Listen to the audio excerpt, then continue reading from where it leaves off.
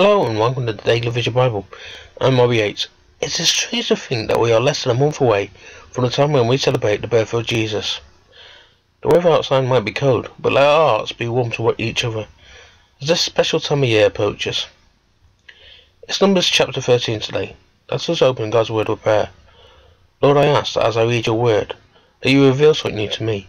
I also ask that as people see and hear your word, they come to a better understanding of you. Amen.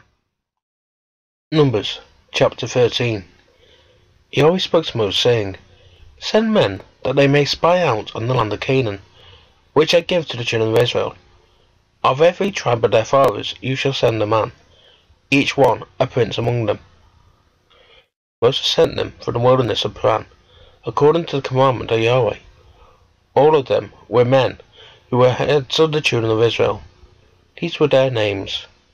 The tribe of Reuben, Shammua, the son of Jacob, the tribe of Simeon, Shaphat, the son of Hori, the tribe of Judah, Caleb, the son of Jephunneh, the tribe of Issachar, Igal, the son of Joseph, the tribe of Ephraim, Hoshea, the son of Nun, of the tribe of Benjamin, Paltai, the son of Raphu, of the tribe of Zebulun, Gadiel, the son of Sodi, of the tribe of Joseph, the tribe of Manasseh, Gadai, the son of Suzi. Of the tribe of Dan, Amiel, the son of Jemiel. Of the tribe of Asher, Saphor, the son of Michael.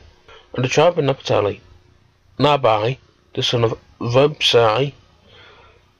Of the tribe of Gad, Juel, the son of Micah. These are the names of the men whom Moses sent to spy out on the land.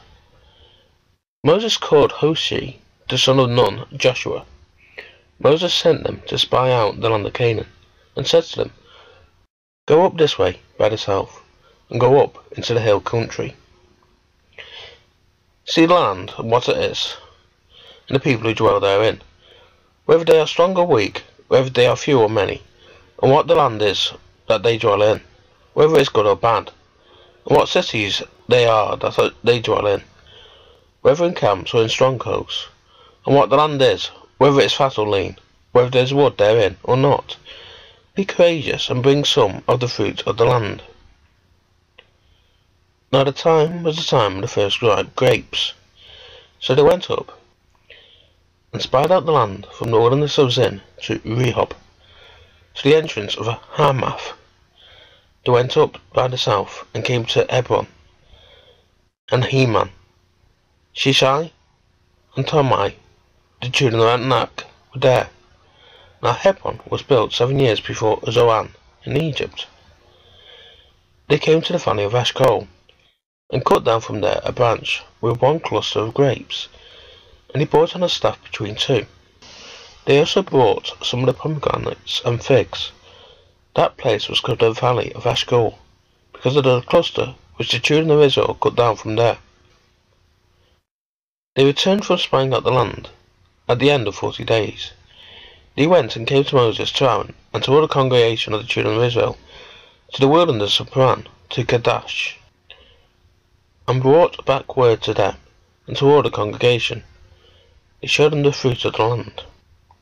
They told them and said, We came to the land where you sent us. Surely it flows with milk and honey, and this is its fruit. However, the people who dwell in the land are strong, and the cities are fortified and very large. Moreover, we saw the children of Anak there. Amalek dwelled in the land of the south. The Hittite, the Jebusite, and the Amorite dwell in the hill country. The Canaanite dwells by the sea, and along the side of the Jordan.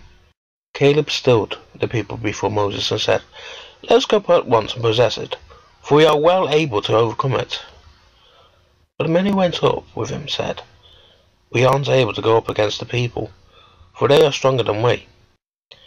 They brought up and they reported the land, which they spied out, to the children of Israel, saying, The land through which we have gone to spy it out is a land that eats up its inhabitants, and all the people who saw it are men of great stature.